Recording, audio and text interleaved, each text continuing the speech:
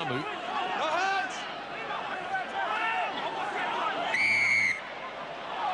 that's against Tony Woodcock.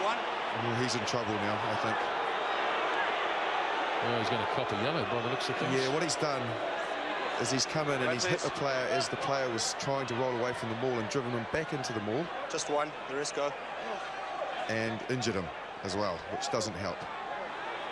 This kind of thing, look at me. Yeah. Totally unnecessary. The man may well be oh, taking his time to get out of there, yeah. but it's unnecessary and it's uncalled for. Okay, okay? you can go. Yeah. Well, we have an obligation, me and you and your team. Okay, make sure it happens, please. That's it. That's okay. it. Well, no card.